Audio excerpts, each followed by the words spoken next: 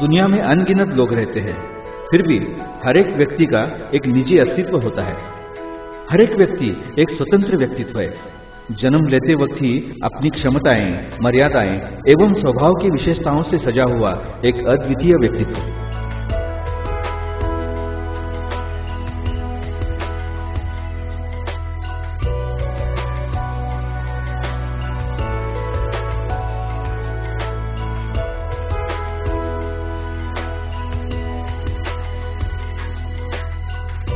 इंसान की गुण विशेषताओं को जानने के लिए वर्षों से नाड़ी परीक्षा या जन्म कुंडली का आधार लिया जाता था। लेकिन आज की तारीख में हम लेकर आए हैं।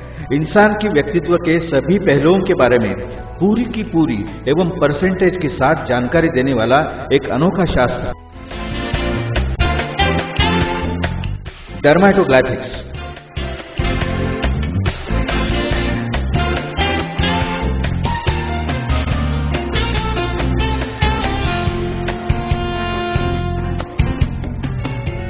हाथ की उंगलियों के प्रिंट्स के ज़रिए इंसान के पूरे व्यक्तित्व का एनालिसिस करने वाला एक अनोखा शास्त्र। गर्भ धारणा होने के बाद लगभग 24वें सप्ताह में गर्भ के फिंगरप्रिंट्स फॉर्म होने लगते हैं। उस समय गर्भवती माँ की मानसिकता गर्भ में होने वाले फ्लूइड की एवं गर्भ की होने वाली मूवमेंट इन सभी के परिणाम स्वरूप फिंगरप्रिंट्स के अलग अलग पैटर्न साकार होने लगते हैं। उसी के साथ साथ लेफ़्ट ब्रेन एवं राइट ब्रेन की डेवलपमेंट होती रहती है। अलग अलग उंगलियों के पैटर्न्स ब्रेन के अलग अलग पार्ट की डेवलपमेंट दर्शाते हैं। ये सभी प्रक्रियाएँ गर्भावस्था में ही होने के कारण जन्म लेने वाले हर एक व्यक्ति के फिंगरप्रिंट्स अलग अलग होते हैं। जुड़वा बच्चे, जो भले ही शत प्रतिशत एक जैसे क्यों न दिखते हो, लेकिन उनके फिंगरप्रिंट्स एक जैसे कभी नहीं होते। और ये जो फिंगरप्रिंट्स लेकर व्यक्ति जन्म लेता है उनमें कभी भी कोई बदलाव नहीं आता। बढ़ती उम्र में उंगलियों का साइज़ अगर बढ़ा भी तो भी पैटर्न्स वही रहते हैं। और इसीलिए डर्माटोग्राफिक्स के एनालिसिस में 95 परसेंट से भी ज़्यादा एक्यूरेसी पाई जाती है। डर्माटोग्राफिक्स शास्त्र के आधार पर किया जाने वाला एनालिसिस मशहूर American psychologist doctor Howard Gardner ने संशोधित किए हुए मल्टीपल इंटेलिजेंस की थियोरी पर आधारित है। डॉक्टर हॉवर्ड गार्डनर कहते हैं If we all had exactly the same kind of mind and there was only one kind of intelligence, then we could teach everybody the same thing in the same way and assess them in the same way, and that would be fair.